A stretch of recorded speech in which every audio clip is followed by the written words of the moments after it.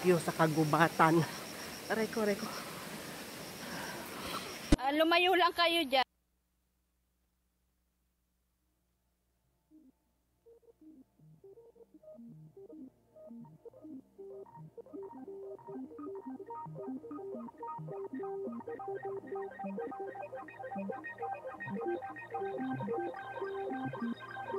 Thank you.